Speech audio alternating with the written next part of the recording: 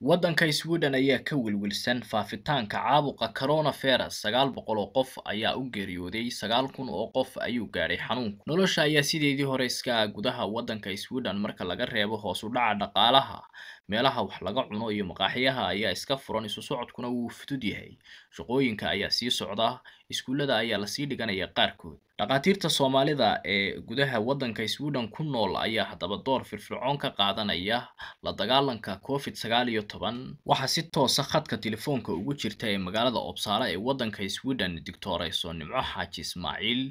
ugu horreyn dictorayso ku soo dhawow telefishinka caalamiga ah ee bulsha t v weydiinayaa bal waxaad nooga warbixisaa caabuqa covid sagaal iyo toban iyo sida uu u saameeyey waddanka sweden.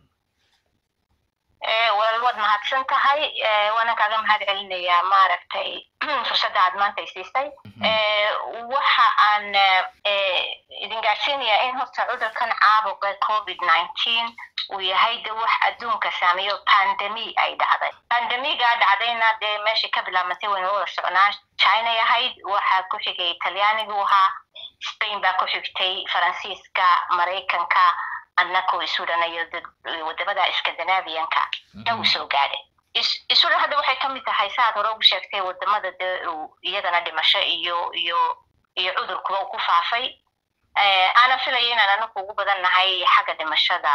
haddii la qiyaaso waddamada scandinavianka haddana tirada dhimatay imanka ee maanta la soo saaray qiyaasteedu waxa weeyaan waa sagaal boqol iyo sagaal iyo toban qof baa ku geeriyooday inta cudurka qaaday ee soo faar la og yahay inay qabaan waa ilaa sagaal kun oo qof inta ku jirta intensiveka ama waxa dhaha i c u-ga waa ilaa adigu shan boqol iyo sagaal iyo labaatan marka sweden wuu ku fidayaa laakiin xawliga uu waddamada qaarkood uu ugu dhacay ugumuu dhicin aragti dadku ay qabaan oo ah dadka aan la baadhin ee guryaha jooga ayaa ka badan kuwa la og yahay oo sidaa darteed tiro badan oo aan la baadhin oo aan la ogeyn ayaa guryaha joogta waddanka sweden. Arrintaasi siday kula muuqataa adiga runtaayo waxa weeyaan dee ummadoo kel oo dhan lama wada baari karo. Waayo horta cudurkani wuxuu ahaa cudur kedis adduunka ku soo galay oo aan cidi garanaynin oo aan ictilaal u haynin oo aan cidi xataa wixii lagu baarayay aanay haynin. Marka wuxuu ahaa cudur dunidoo dhan ba argagixiso ku reebay buu ahaa. Marka waddan walba wuxuu leeyahay cilaamaad ama guidelines buu leeyahay ay raacaan siday ku ogaadaan qofkan inuu cudurkan qabayo in kale calaamaadka marka ay sweden isticmaaleen anaku bahda caafimaadkoon isticmaala waxa weeyaan qofku haddii uu yeesho calaamaadka ay ka mid yihiin inuu jirku wada xanuuno oo sidii influensahoo kale xubnaha iyo jirku xanuunaan hadduu xumad yeesho oo xumaddu ilaa sagaal cisho toban cisho ay ka digi weydo cunuhu hadduu xanuuno haddii shuban yaru isku arko haddii dhadhanka iyo urtu ay ka tagaan. Laakiin neeftu ay caadi tahay oo aanay dhibaynin. Marka definitely cudurkii wuu qaba laakiin gurigagaad ku ekaanaysa isku karantiinaynaysa waa tahay dictorayso dadka qaar baa waxay ka cabanayaan in ay tagaan goobaha laysku baadho oo la baadayo balse laakiin aan xanuunkii loo sheegayn waxa haye la odhanayo orad aad